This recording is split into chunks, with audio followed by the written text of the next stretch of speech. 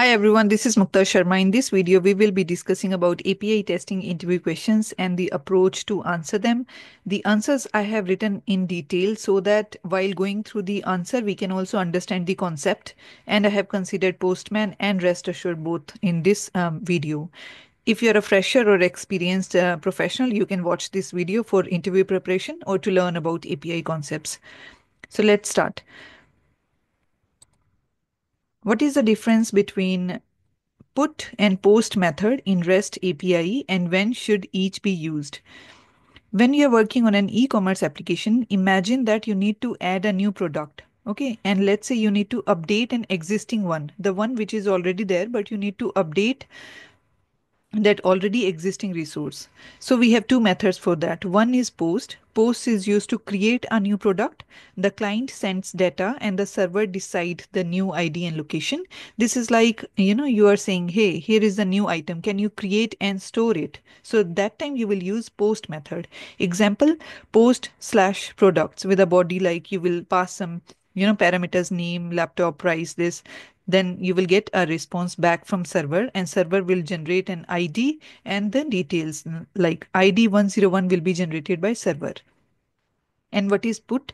It is used when you already know the ID and you want to update or you replace it. Like we know the ID 101. Now we want to update some value in that. We will use put, right?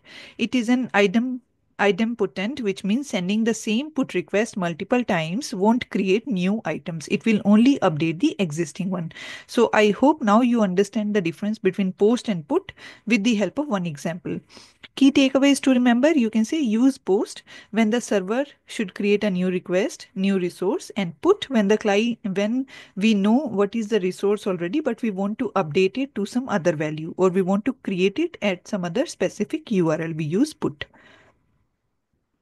What is Pojo in API testing and how is it useful? In real-time testing framework like Rest Assured, Pojo means plain old Java object.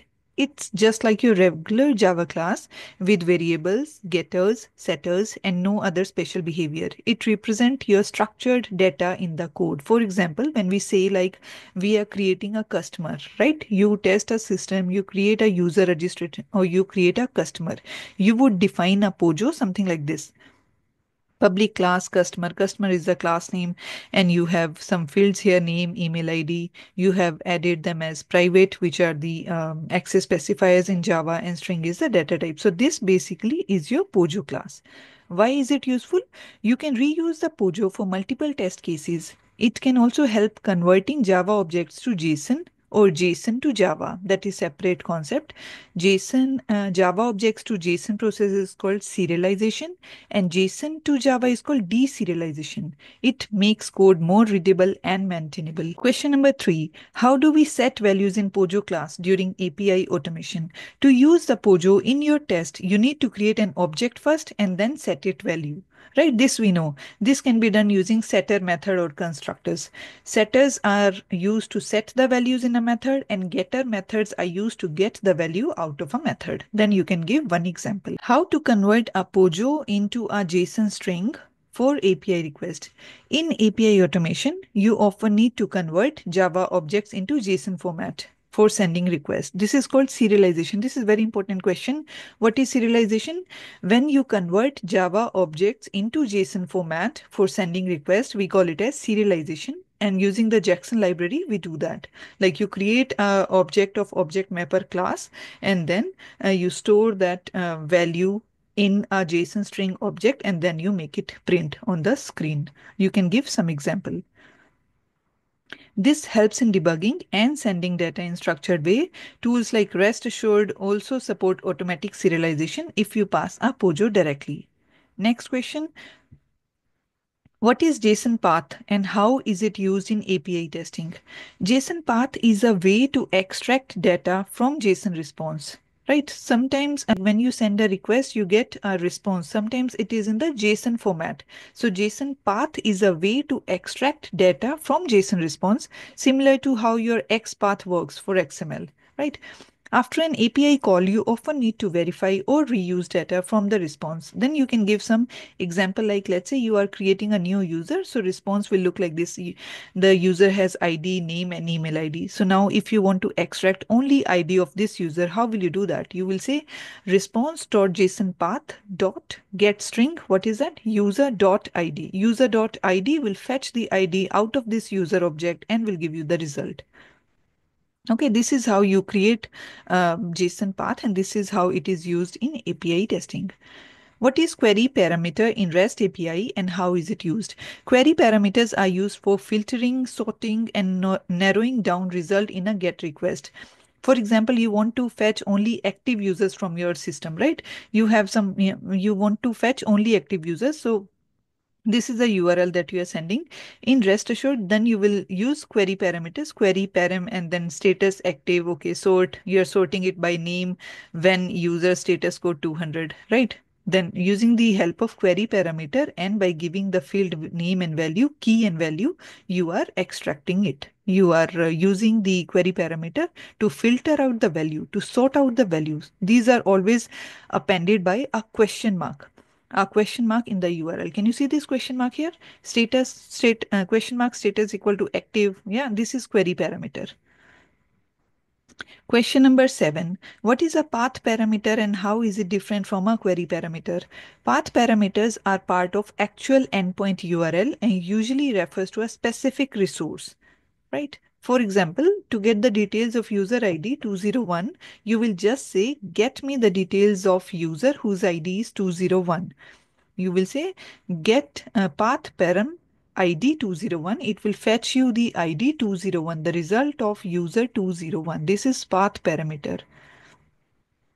Path parameters are used to locate specific resources. You can remember it in this way that path parameters are used to locate specific resources, whereas query parameters are used to filter filter out the result. Query means question, right? You are questioning somebody. So you are questioning a resource to give me that value. That means you are filtering out the result or passing any optional values how to create a JSON object body dynamically in Java without Pojo. So without Pojo, if you want to, if you have to create a JSON object, can you do that? If you want more flexibility, use JSON object from org.json. Then you can give some example like this and send it as a header content type. In, in Postman, if you are aware of using Postman, in the like in the um, down section of uh, postman we have this content type where you see the response right? So that content type you can set it as application json and then request body to string post users. This will help you creating a json object without a pojo this is useful in data driven testing.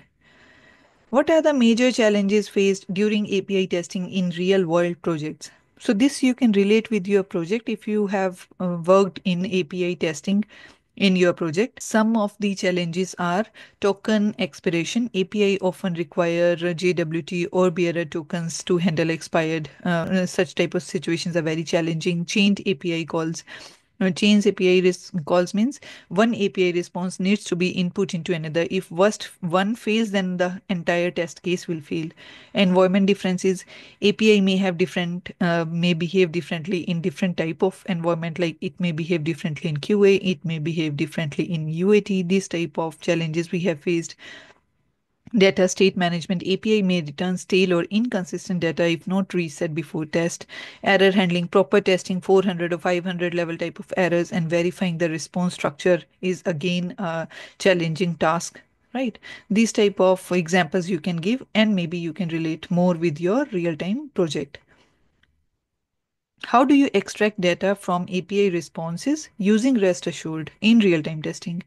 In end-to-end -end testing, extracting data from responses is essential for chaining or for validation. For example, you send a post request to create a booking, right?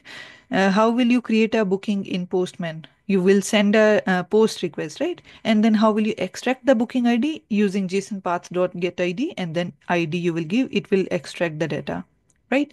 So this is about the post request, which is uh, uh, first you have posted to create a booking, booking and then you are extracting the booking ID.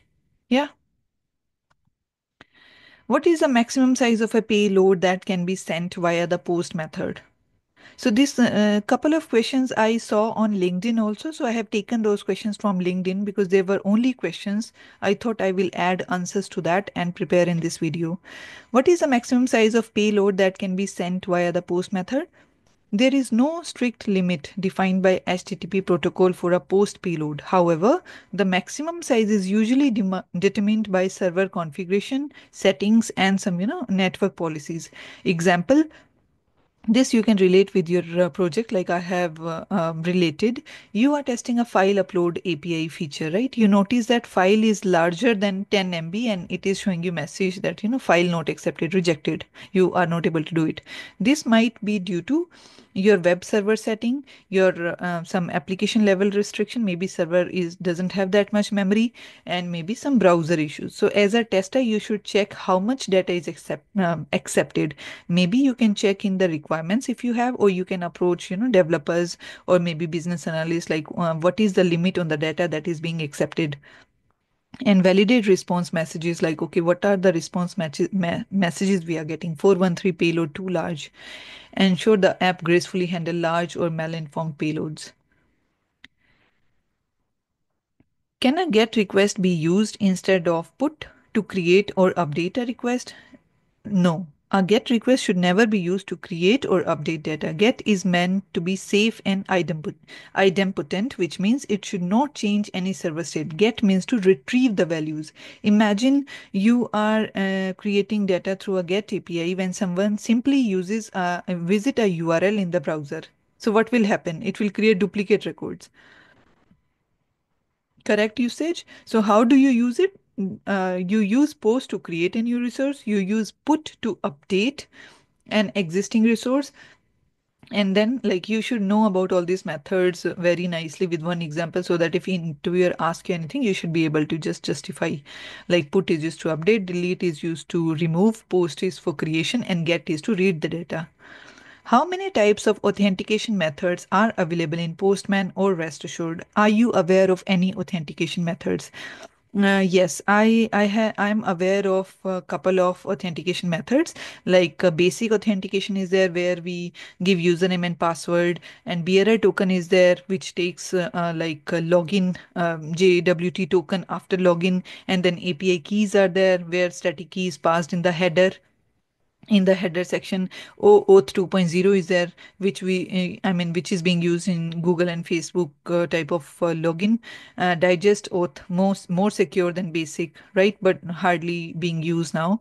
NTLM used in microsoft enterprise api so these are all the authentic authentications available in postman. So if you open postman maybe in the drop down you will see all the different type of tokens. But majorly what we use are basic basic authentication bearer token API key OAuth 2.0. This is for your understanding. I have written basic auth simple username and password authentication for APIs. Bearer token used after login yeah often with OAuth 2.0 API key static key pass which uh, which we pass in the header or sometimes in the query.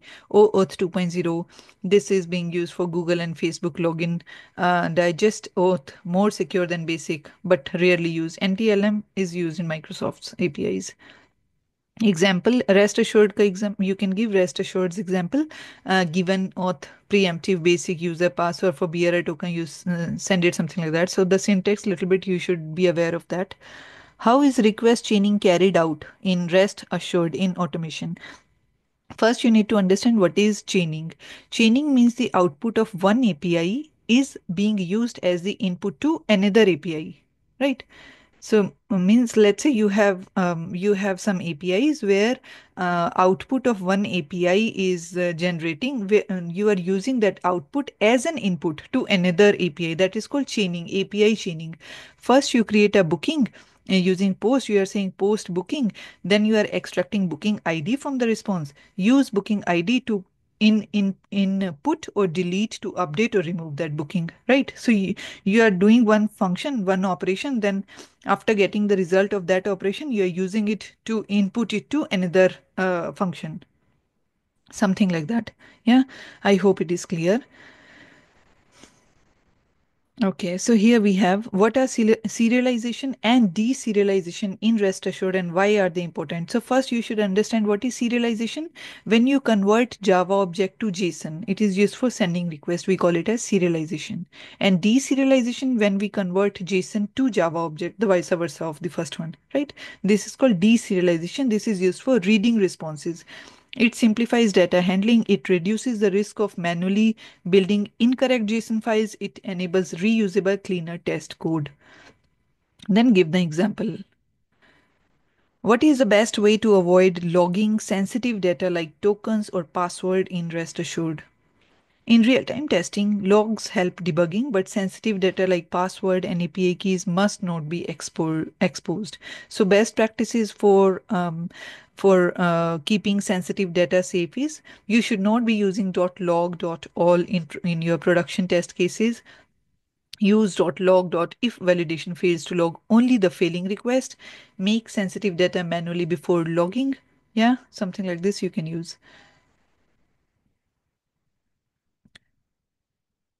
Question number 17. How can we get the size of a JSON array from a response in rest assured? So uh, you want to validate how many records an API is returning, right? First, you get the uh, size of that. For example, verifying if a list endpoint returns 10 user. Let's say uh, this is an array and uh, you want to get the array size. Then how will you do? Get list user dot size. This will return the array size and then you can use assert dot assert equals will give you the uh, size of the JSON array. Yeah, that time that you can use and explain. What are the API keys or authentication tokens and how they are used in APIs?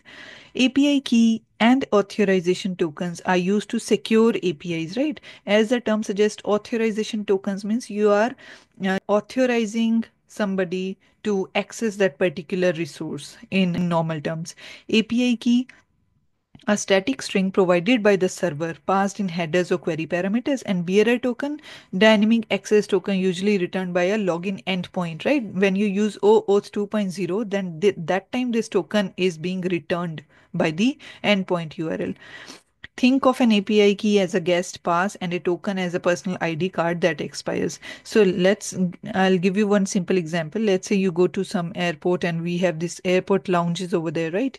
Without the um, access card, without the um, uh, airport lounge pass, you cannot avail the facilities of that uh, lounge, right? So you need to have some ID. So that is like your authorization token. When you have the token, then you can um, utilize the facilities of a airport lounge.